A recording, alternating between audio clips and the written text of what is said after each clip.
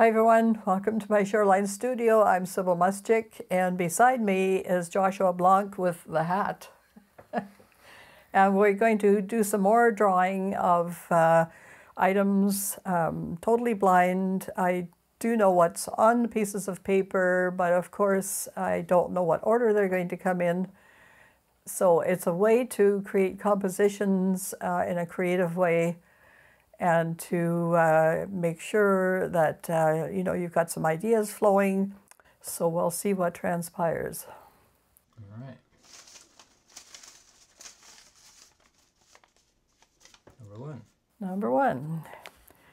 Do a furry texture. okay, that could be interesting. Number two. Number two. Do a seed pod. Okay, now that could be quite challenging.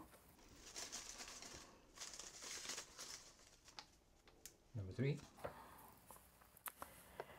Do the center of a flower. Okay, things are starting to relate already.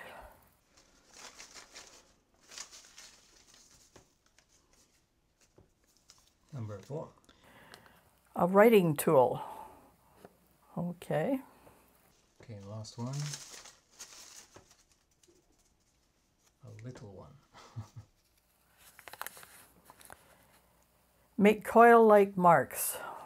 Well, we have quite the challenges. I'll get all my stuff together and uh, we'll do an interlude, of course, and then we'll have everything set up and uh, we'll start with our usual sketches and thumbnails and uh, then we will um, get going.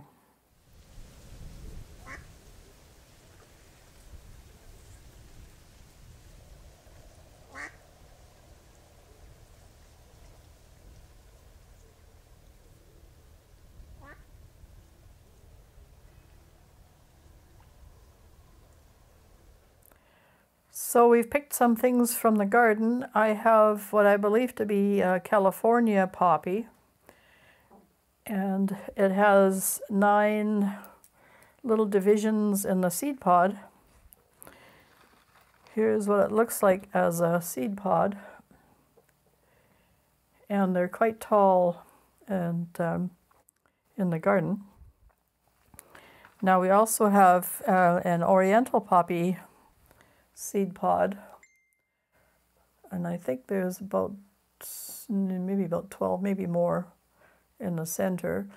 And this is quite fuzzy here, so we might be able to use that as a fuzzy aspect.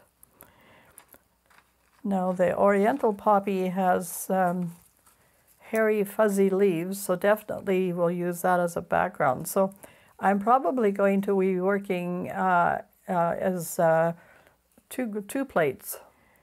And the writing tool, I believe, should be uh, a feather.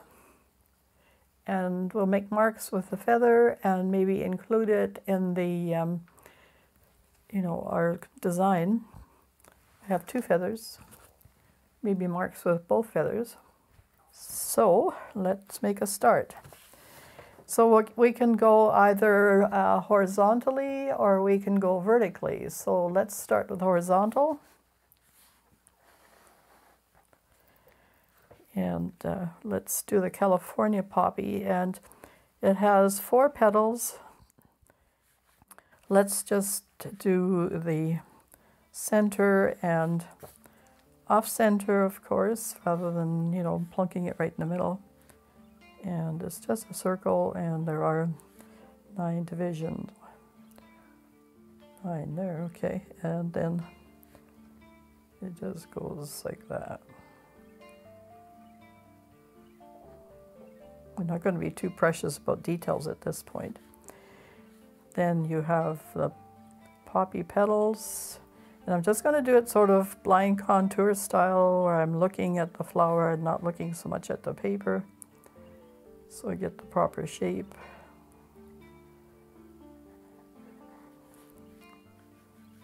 And this one is behind, and it's behind the next petal. And there's a gap, nice gap there. And then it has these markings.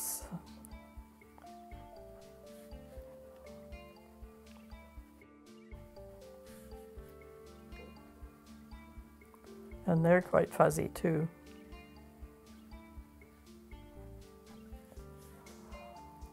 And then we can bring a stem out maybe.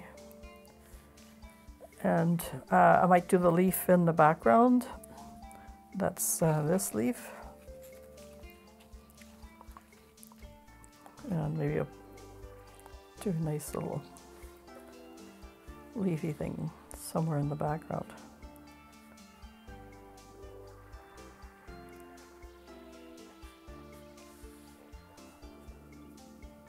And that should be a good format. Okay, so let's try a vertical. And then we're looking at, let's do the oriental poppy. So they have long, long stems. And you probably, when you're looking at it like this, you're going to see more of this kind of a shape, an oval shape with little spikes coming out the side. And it looks a little bit like a funnel. Has a couple of things there.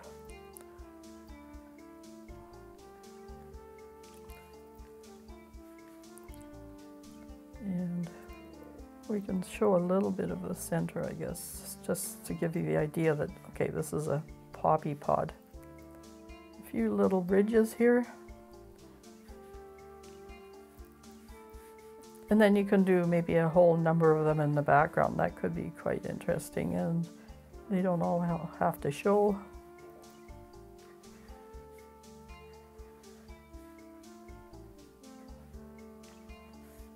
Maybe some that are down here.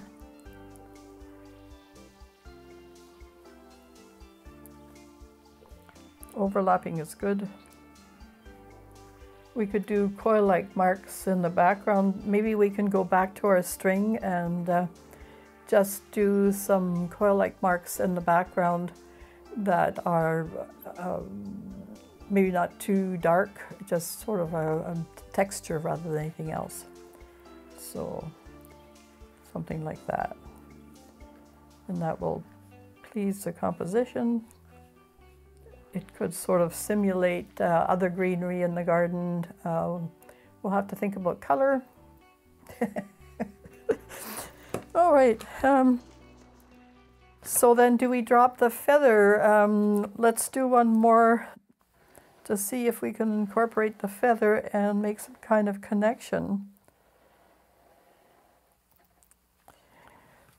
So, of course, uh, feathers and quills were used for writing. So, in the seed pods uh, are long feathers, you know, could, could be quite long. That's that connection. So, we could do maybe some feather designs on here and do some mark making with the feathers. Again, I'm thinking right off the top of my head. It just may not make any sense for a while, and that's why you do the thumbnails. That's a really good thing to do. And let's see, and then maybe our poppy pods. And your brains will make the connection, you know, somehow it will make sense as to what's happening.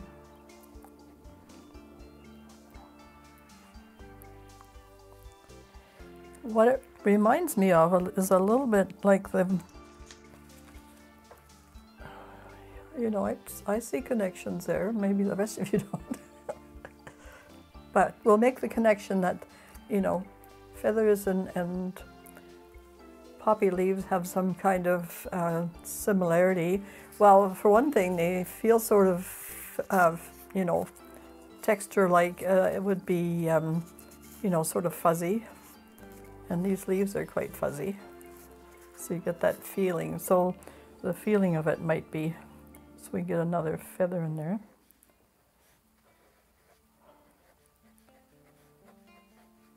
And maybe more poppy pods and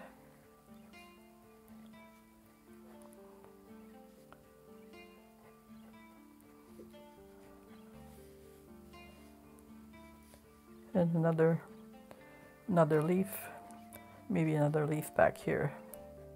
So we'll have two poppy pods and, and um, at least three to five leaves. And that could be quite a nice, uh, pleasing design.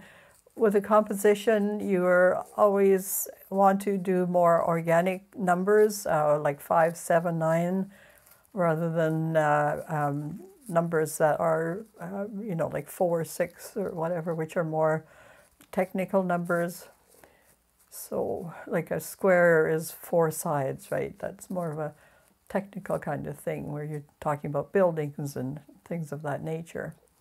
So in nature, it tends to be, you know, an uneven number.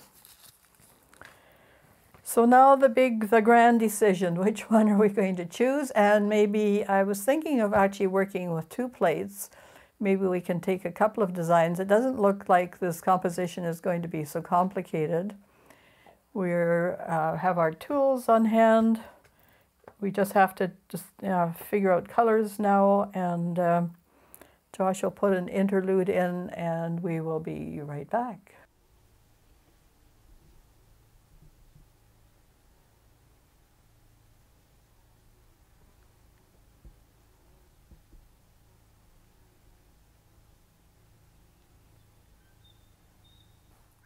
Well, we're going to make a start on the first one, and that's this one here. And we'll do this one on the next on the next plate. I think that's probably going to be the most effective. So I have laid out some color and um, I've added a little bit of open thinner. These are, this is phthalo blue green shade and uh, just a, a light blue and we'll do a little color swatch. This is a, just a good idea as to how light and dark you want something.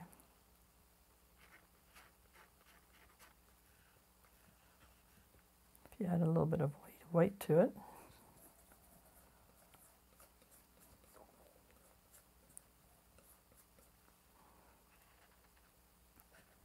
You get this lighter shade, and I think that's probably the most effective. I don't want to go too yellow at this point. It may not mix well, and we're also doing a cool palette. So far, so good. Our violet shade will be um, probably this one, Primary Magenta. Uh, this is an Amsterdam acrylic. Um,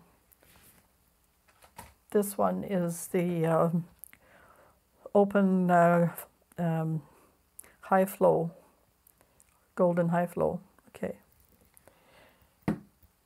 And then uh, here's our um, open thinner, and I've added that just so the paint lasts a bit longer. And then be sure and mix it well. We'll probably be using some brushes and maybe the end of the um, feather to get you know, some marks things. And printing the feather uh, for the last piece. Permanent blue violet. Okay, I just put that over here. It's dangerous color. Dangerous because it gets into things, right? And that will be our, um, our little centers for this. Right, so we're going to do this green. And then you have to decide, are you going to keep all the same color? Are you going to darken it as it goes, you know, lower? You know, as it leaves the picture plane, um, you might just want to darken it a bit.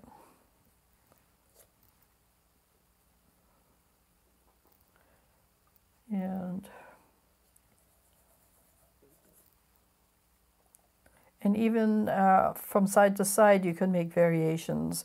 It could go from warm to cool. In that case, you would add yellow where the light is, if the light's coming this way. And of course, it's reversed uh, when you're doing it as a print. So if you want your yellow on the right side um, on the plate, you have to do it on the left side. Well, we were worry about that um, today. If you're painting a painting, out, I would be maybe more considerate of those kinds of things. Okay, let's roll it out.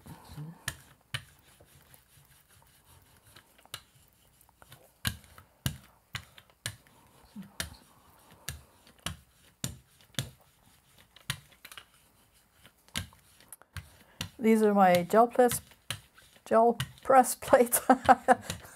Tongue twister.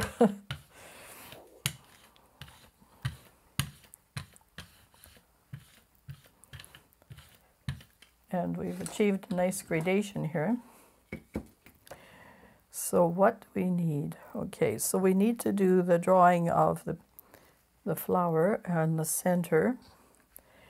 And that means we're wiping stuff out. Now this was a composition this way, so we're going to switch our plate around.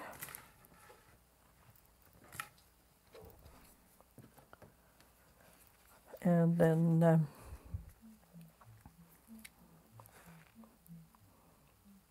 We're just going to wipe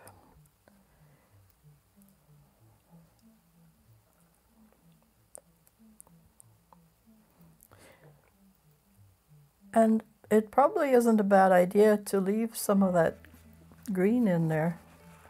It will make it look like shadow areas, which will just be to the good. And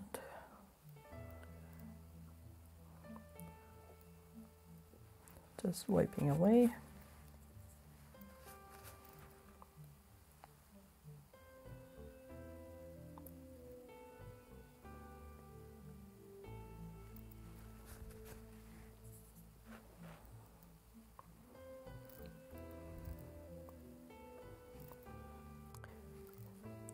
So this California poppy has a, there's a nice little,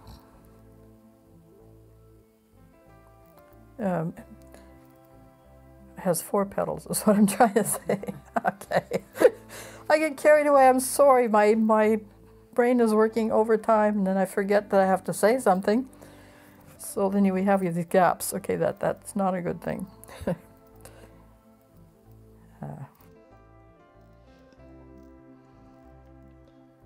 one was behind. Might enlarge this petal a bit. Goes in like that. We'll make that darker so that you get the feeling that that's in front and slightly shadowed.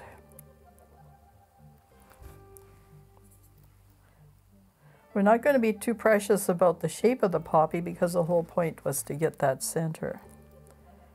So we're going to do the center quite large.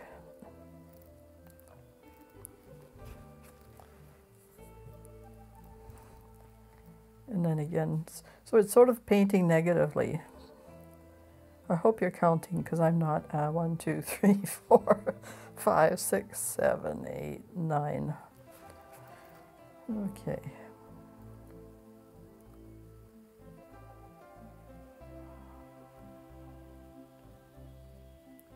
We'll add more color into that as it goes. We're going to take off some of these droplets of water. So we're going to be just totally lazy with the leaf and do it as a negative and print it.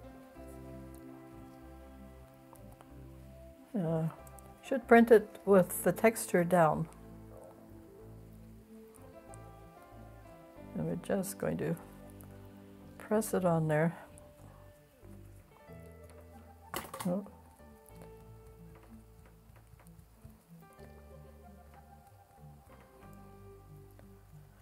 The garboonies are busy. Things are falling off.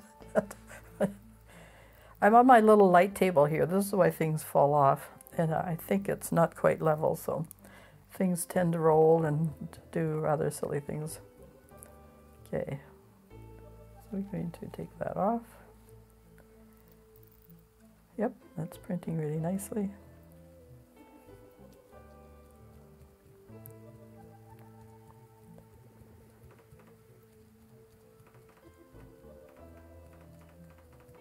Now we probably have to hurry a bit because that background is drying.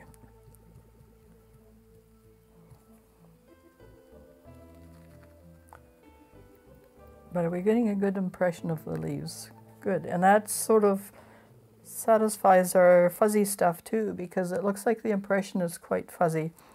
Okay, so far so good. Now, because we're working with cool colors, our violet will actually work with the green. And that's a pretty good, good color, I think, for the petals. Very close to a color swatch. And then match it up. See, that's pretty close. Okay, so shade in your flower.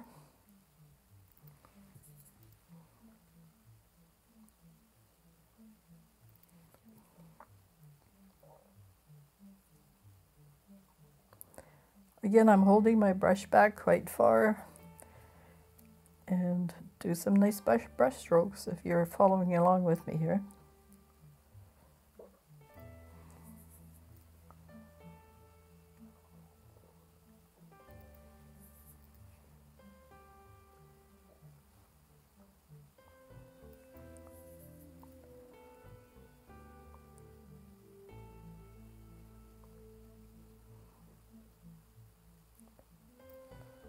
Now that's quite wet, so we're going to just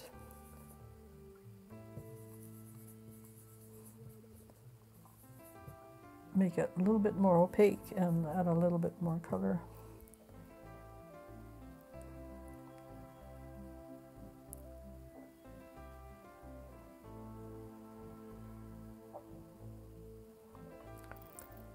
Now our leaf overlapped here, so we're going to just take the color to there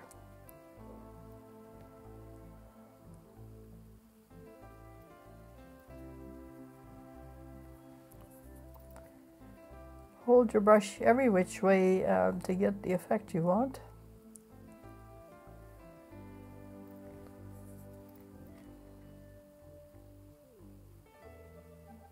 And one stroke often does the trick. Just going to go over this part because it's a little fluid.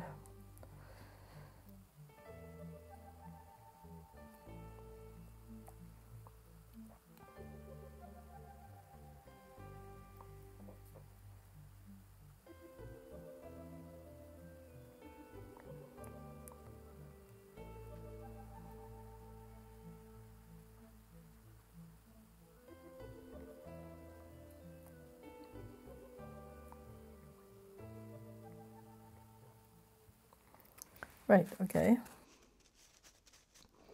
Now our violet. I'm just going to take it down a little bit with the green.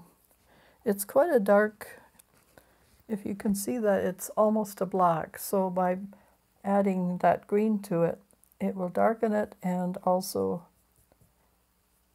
give it a little more step towards the black. A little bit more violet.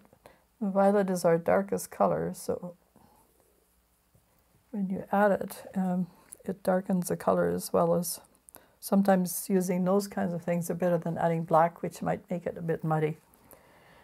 Right, okay, so what's our shape? It's sort of a fuzzy shape. We're satisfying our fuzzy uh, requirement. Okay. Bring it into the center. Now, poppies always look like they're suffering because they um, have all these little ridges and, you know, they look like they've been crushed, poor things. Using these brush marks um, with that in mind, gives it that little extra essence.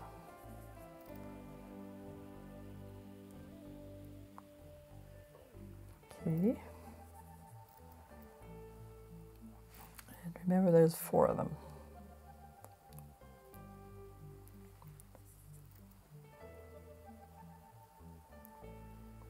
Now, as usual, we'll probably have to wait for this to dry, but we can do the other one while that's happening.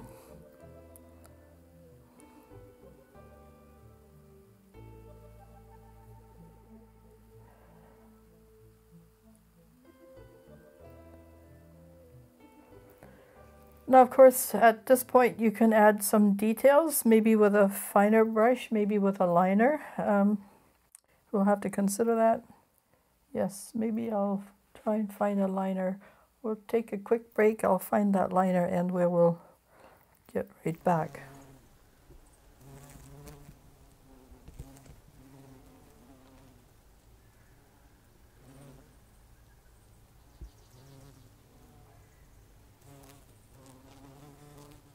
So we're going to shore this particular one up uh, in a jiffy here and uh, we were just talking about uh, whether we've uh, you know satisfied all the requirements. Uh, we have the seed pod because it's the center.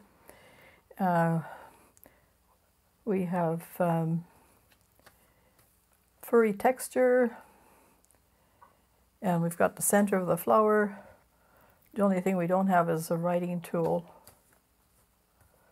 And there was one more, um, the, The coils. the coils, right, yeah. So coils um, we'll do for the next one, which is fine. Okay, so let's get the center in. And we're just going to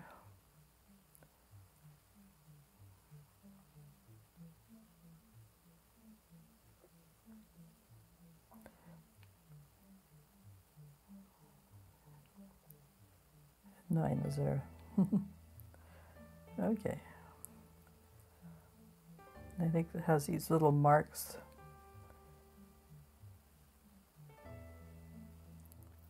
Just give it a little bit of depth.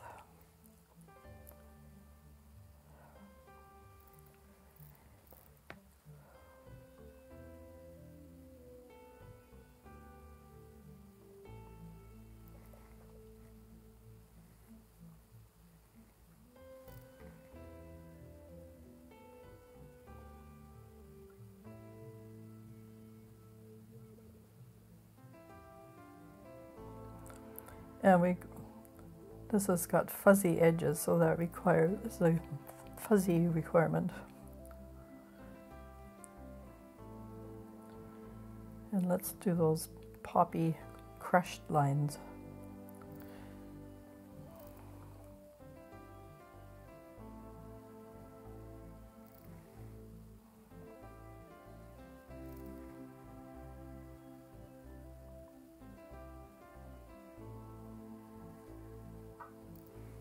Nice thing about uh, gel plate printing is just about every mark you make um, prints.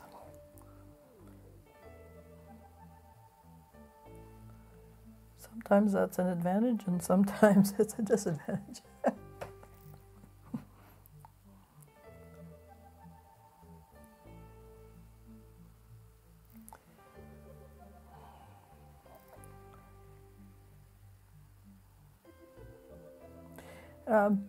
Way, this brush is a rigger.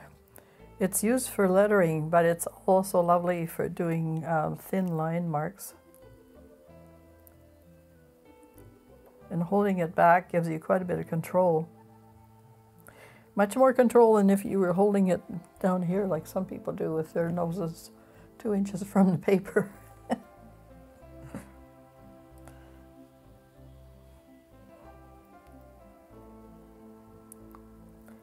The marks are fresher as a result if you're not, you know, have a tremendous grip on your work.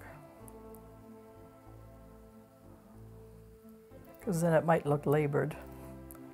You want it to look sort of spontaneous almost.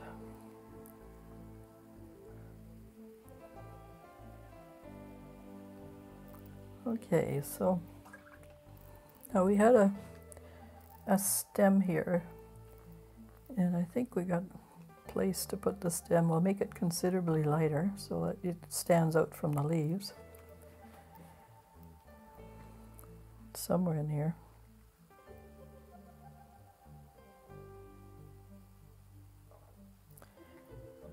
And it's fuzzy, right? So just a little bit fuzzy. Not as much as the oriental poppies. Just give it a few little marks. So that's our fuzzy texture. Now I haven't done anything much with the background. The flower itself is pretty busy and then we have the leaves. Hopefully they will print really well. We might, after we do the print, uh, we might do a touch-up because I think there'll be a remnant on the plate that uh, we can work with and registration shouldn't be much of a problem. Right, okay, so we're going to leave this one so this could be a series, so we'll continue working, um, you know, with the same colors pretty well. I might add, let's have a look. These leaves are far more yellow, so we might bring in a bit of yellow. And look at how interesting they are. They have all these little edges. A little bit too complicated for a quick drawing, so what we'll do is we'll try and print it on the gel plate right off the bat. And just, you know, move it over like this. And then our feather, maybe alternate uh, small feather with big feather. And then we'll do um, the, the poddy, um, pods uh, separately. Anyway, that's so far, that's the cunning plan. we'll, we will see how that works.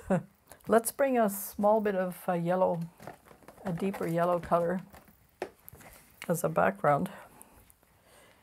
And again, uh, because we're working with brushes and stuff, let's add a little bit of open thinner. Mix it up well. There we go. That should give us a bit of working time. Amsterdam paints tend to dry very, very quickly. The open, uh, golden open acrylics, uh, of course, last a lot longer. But sometimes I find uh, the color is not quite as intense as I'd like. So I'm just going to run a little bit of the green into it as well.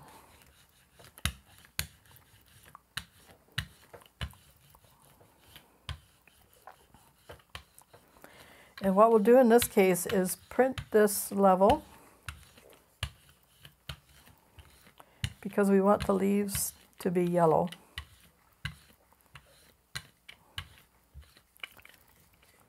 Otherwise, we're going to have white leaves, so we don't want that. Again, my um, plexiglass plate, I can use that to line up. If I'm careful, that will work. My Baren, Baren, a Japanese tool that is good for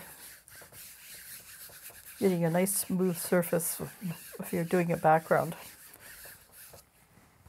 especially for that.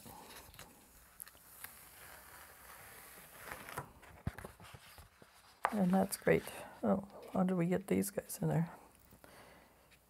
Okay, so a nice sort of nebulous kind of background, that looks good. Because we want this a lighter green, I'm going to do another layer. We're going to place it on there. And now we have to decide on the color. Since we're not doing the uh, flower itself, I think a darker green is probably okay. We'll do a blue-green. Because then the edges might be um, what we need.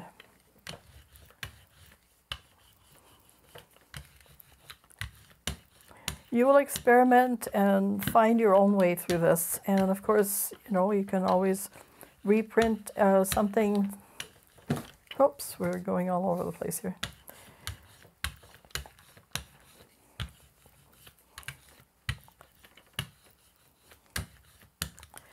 If you do your thumbnails and your preliminary drawings and your color studies, you've got everything under control as far as that goes pretty well. Oh yes, I almost forgot. This one is a vertical composition. And so I think we'll start with the feathers. We want the feather texture.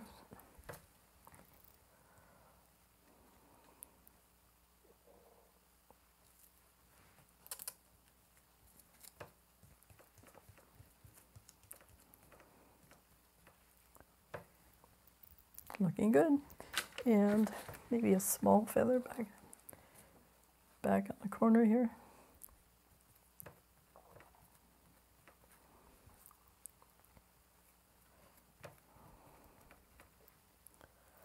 And then we'll do the oriental poppy leaves.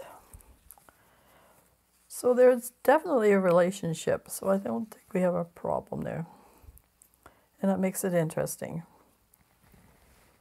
Sometimes combining odd things together um, really creates a creative um, breakthrough.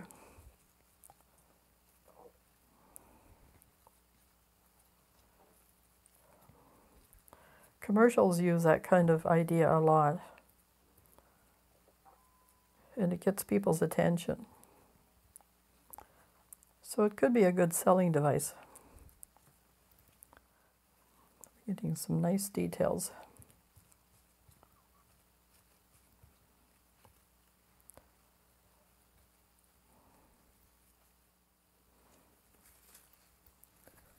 Maybe a little bit more.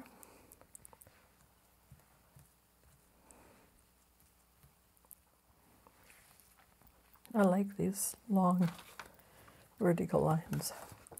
We can print this right away. Again, lining up.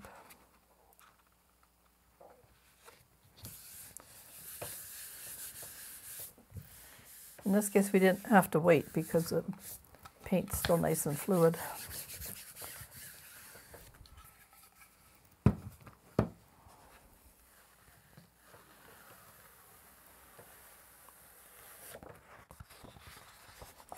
Okay, nice. It, it gives us a good background.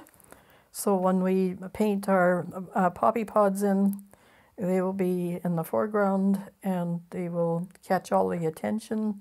And this is a perfect background for that kind of thing. To do a job of cleaning your plate, a little bit of uh, mineral oil helps. Just give it a quick wipe with that.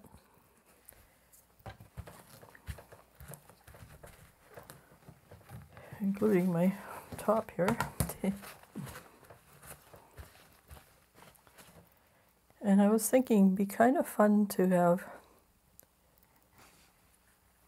once I finish the drawing of these guys to just dab a little bit. That does a requirement as well, I think. Make coil-like marks. We can. Is that a coil-like mark? and we're going to mix the color. So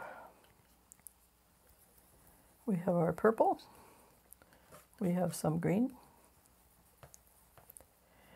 and to neutralize that color we can add the yellow. Then it's not quite so cool and it's also closer to the black. Oh, a little bit of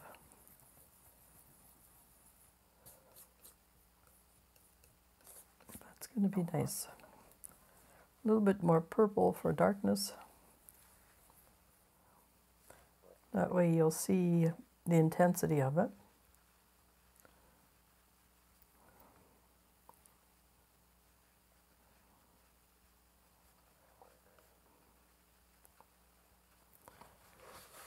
It seems just a little bit watery, so let's just add a little bit more of the purple. There's our swatch. And not so pale. This is where you're going to have to pay attention to your drawing. And in this case, if you mess it up, you you should be able to wipe it away. So because we're starting with a totally clean background. So don't fret about the drawing part. Just do the best you can. Let's make these fairly big. Because this is a vertical format, I think it would be really good for the poppy pods to be quite high. And it'll be fairly graphic. And that base here is a little bit of a... And there's all these fuzzy textures on the and then this is just a mark. And it can go right off the bottom.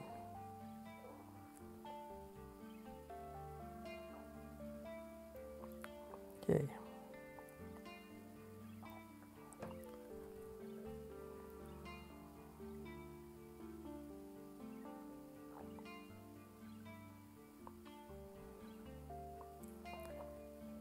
Have the,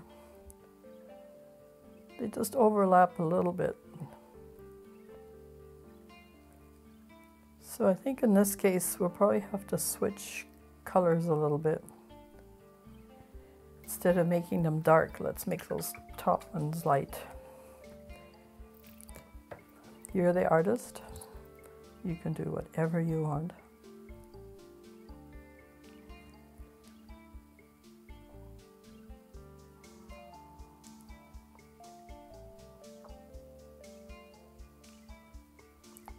We'll just have to pretend they're catching the light. And you have all these little yellow things on here anyway. So we're just going to start making little marks. To get the paint on the brush, turn your brush like this.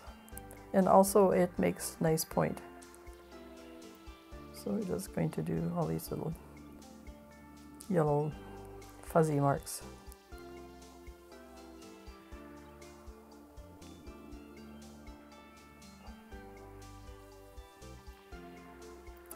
Now, are there ridges? A little bit. So we'll put a few ridges in.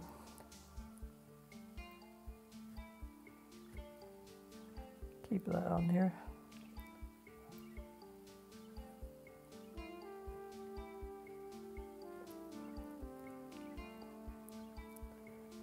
then these lines that we had on here. Now this will flip, right? So if you didn't want this one here, you would have had to put it there for it to be there. That's the way it is. So the next poppy pod, uh, we're just going to cross behind. Sounds like a dance step.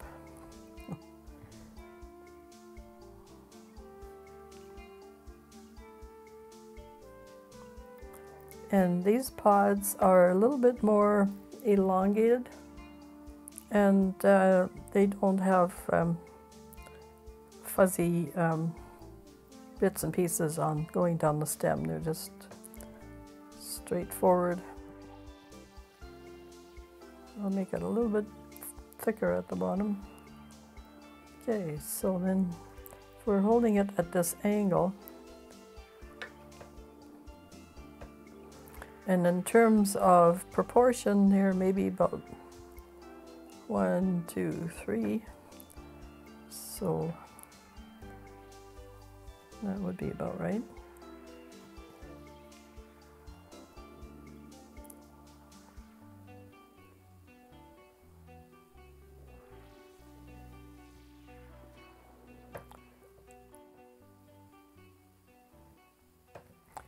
Hmm. Well, just for interest's sake, let's make this poppy pod green. Let's go back to our yellow and our green here. Do your swatch.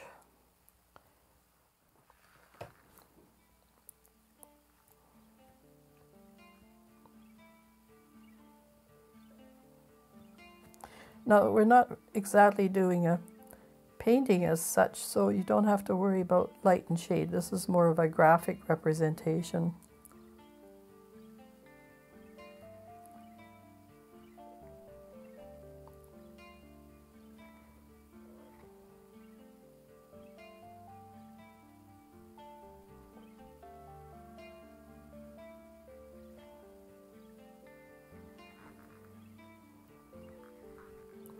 If it's a little bit eccentric, that just gives it character. I guess we need to balance with one more. And we'll do the purple.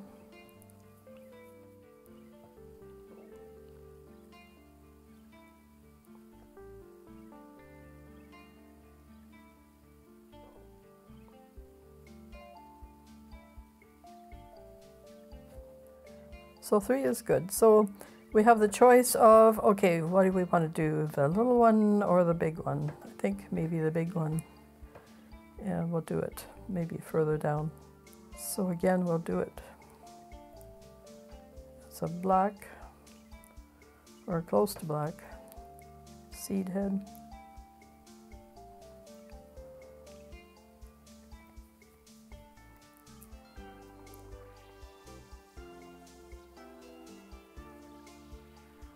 Give it some volume and have it lean towards that one. Remember there's a little mark here and then just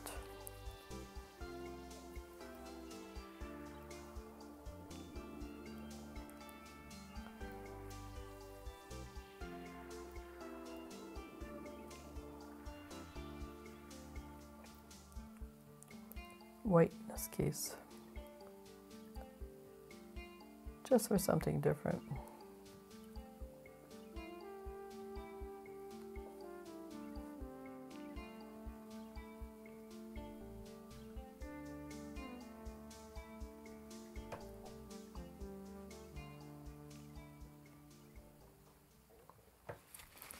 Okay, and then I'm just going to, for our coil requirement, just as something interesting, we'll see how that prints. We're just going to do some marks, maybe do the twist.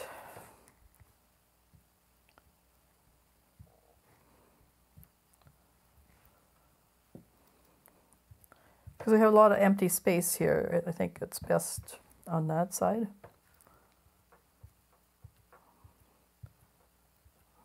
There's our coil marks.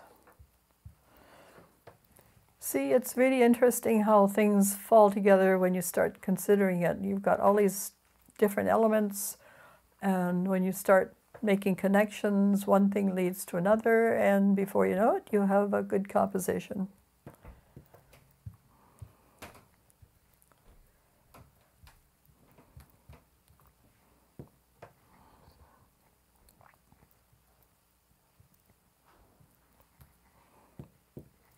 They won't show up very much in the green, but they'll be just a hint. Gives it some character. And actually makes a nice mark.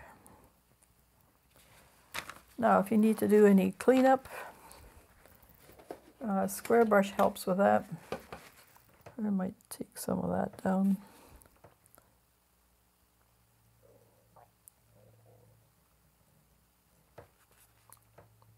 Edges are important. Good, okay, we can leave that for a second and then we'll do a release coat. Now let's have a look at this one. We're pretty well dry, I think. So we need a new sheet of paper. I'm going to use the Oriental paper for this. Okay, we're rolling the super matte medium out here on our first poppy.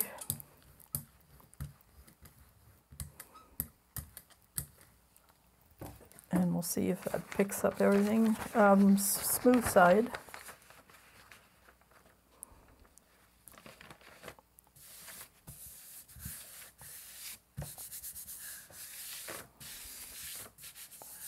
Was just a little bit of a water drop there that dampened the paper. Now that might take a bit time to to cook, as we say. so we'll probably give this at least a half an hour to an hour, and then uh, oh, some really smart person um, decided it was better to take the gel plate off the paper, that might be more successful. I haven't really had any trouble, but you can try that. It's certainly a good idea.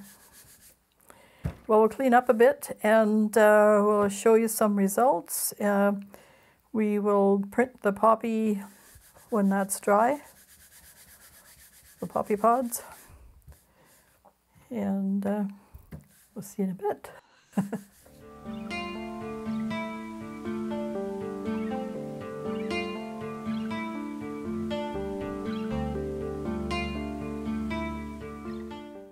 So everything's dry now. I've sort of checked it out already. Um, we've done our furry texture, our seed pod. So doing the reveal here, we'll go do the first one.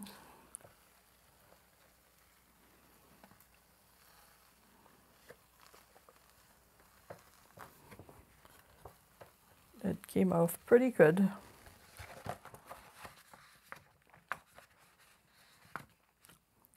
We we had some feathers on the back here as well, and the um, the leaves from the poppy, which are kind of furry, and our seed pods. These are from two types of poppies, the Oriental and uh, California poppy. So some of it came up a bit up here, and that's kind of interesting. So sometimes these things happen where uh, you have happy accidentals, and it's good to go.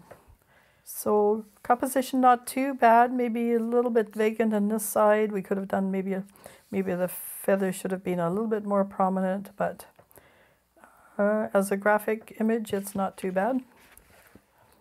Now this one on Oriental paper, the other one was just multimedia paper. So pulling it off. And everything pretty well came up, which is good. So here's our poppy. Uh, you can see the feather quite well. A um, little bit vacant on this side. You know, I think that needs probably a bit of work. And kind of interesting, this negative effect of the top of the poppy. And um, some good brush marks. It's all pretty interesting. So I would work with this a little bit more. But uh, for the sake of, you know, satisfying all these little prompts, it turned out not too bad.